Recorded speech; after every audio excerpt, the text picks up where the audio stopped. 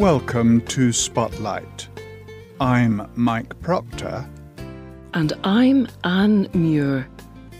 Spotlight uses a special English method of broadcasting.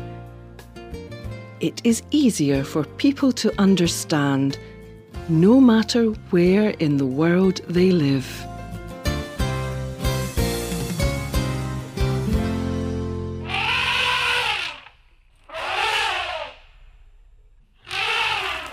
In South Africa, a group of elephants starts to walk slowly across the land. These large grey animals walk for more than 12 hours. Their long noses, or trunks, move from side to side as they walk. This group, or herd, of elephants goes to the home of their human friend. They have not been there for about two years, but they seem to sense that something has happened.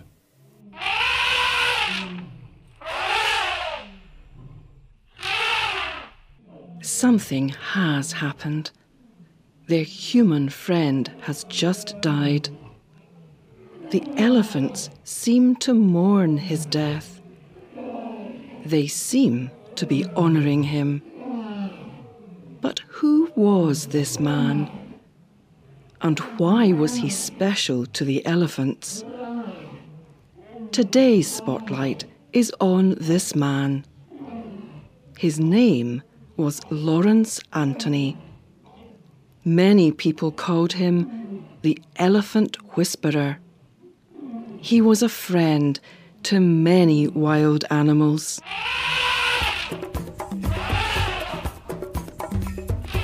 Lawrence Anthony lived in Zululand, South Africa. He was a conservationist. He worked to protect wild animals and the places they live. He owned a game reserve called Thula Thula this very large area of land is used to protect wild animals. Such animals do well in game reserves because they can live in their natural environment. In 1999, an animal organisation talked to Lawrence Anthony. They told him about a herd of elephants these elephants were a big problem. They were very dangerous. They charged or ran at vehicles and people. The elephants were so dangerous that the authorities would have to kill them. But Anthony did not want that to happen. He wanted to save the elephants. So he decided to give them a home at Thula Thula. The elephants arrived at Thula Thula in a big truck. They were released into a special area for keeping animals. This area had strong fences the elephants would get an electric shock if they touched the fence. But still, the elephants escaped.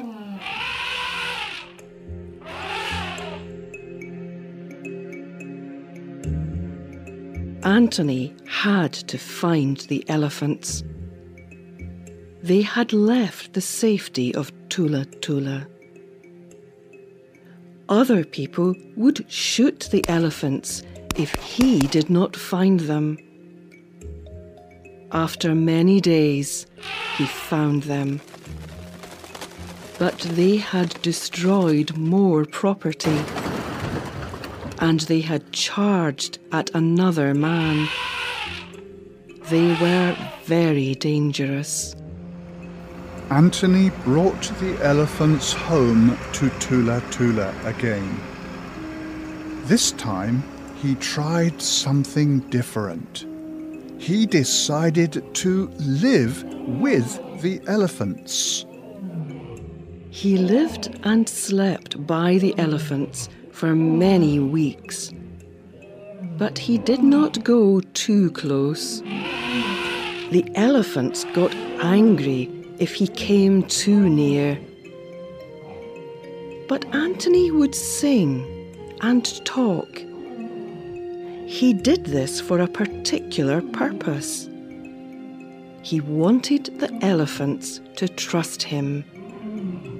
He told the BBC World Service I would walk around talking to myself.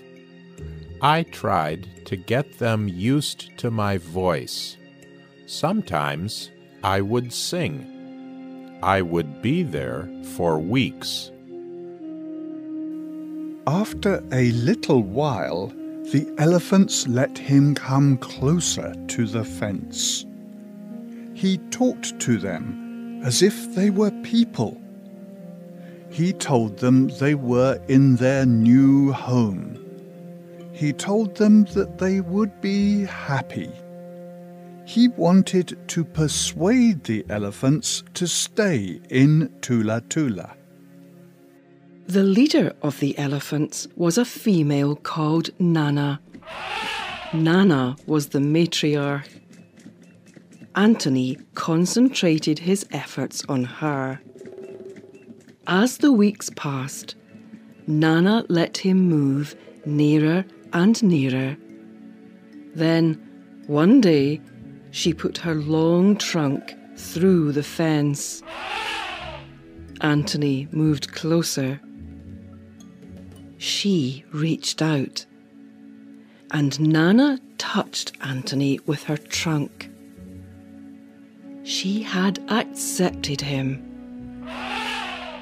Anthony said that everything changed after this happened.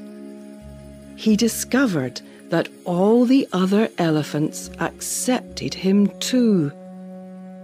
He told the BBC World Service I began to understand that once the matriarch makes a decision, she communicates it to the herd. The next day, there was no tension. The elephants were calm. That day, Anthony released the elephants from the fenced area. This was a big decision. If the elephants left Thula Thula, they would be shot and killed. But it worked. The elephants knew how to escape, but they chose to stay. Anthony formed a very special link with the elephants. They became very close. They were friends. His son Jason told BBC Radio 4 He could stand and call to them, and call and call and call, and they would come and touch him. An amazing relationship. Anthony had a special relationship with elephants, but he wanted to protect other animals too. In 2003, he saw television news of the bombing of Baghdad, Iraq. He knew that there was a big zoo there. He discovered that no one planned to save the zoo animals.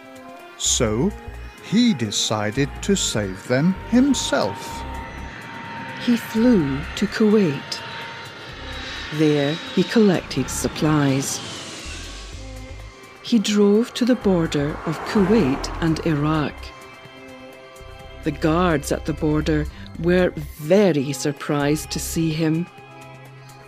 Iraq was a war area everyone else was trying to leave Iraq. but Anthony was trying to enter.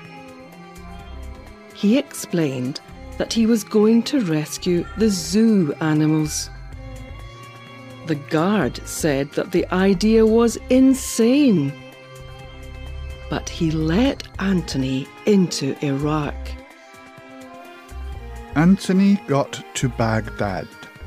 He saw ruined buildings and he heard gunfire. There was still fighting in the city, but Anthony found the zoo. It was wrecked. Anthony saw many dead animals. Flies were all around them. Other zoo animals had been eaten by local people. But dangerous animals, such as lions and tigers, had survived. However, these animals were deeply shocked, and they were starving. Anthony and some helpers immediately began to save the animals. Anthony bought donkeys to feed the zoo animals. He paid zoo workers to return to work. It was hard work repairing the zoo. Soon, American soldiers started to help. A few weeks later, former Iraqi soldiers helped too. These men had been killing each other on the battlefield only recently. Anthony told the BBC American soldiers were fighting during the day. They put down their weapons at night. Then they would come across to the zoo and help. I was watching American soldiers and Iraqi soldiers both working to help these animals. Completely amazing. Anthony stayed in Baghdad for six months. When he left, the animals were healthy and the zoo was clean. The zoo had been saved. Anthony's work protecting animals could be dangerous, but he learned a lot from animals. In his book, Elephant Whisperer, he explained They taught me that all life forms are important to each other. There is more to life than just yourself, your family, or your kind. The writer of this program was Katie Blake. The producer was Nick Manjuls. The voices you heard were from the United Kingdom and the United States. All quotes were adapted and voiced by Spotlight. You can find our programs on the internet at www.radioenglish.net. This program is called Lawrence Anthony, Elephant Whisperer. We hope you can join us again for the next Spotlight programme. Goodbye.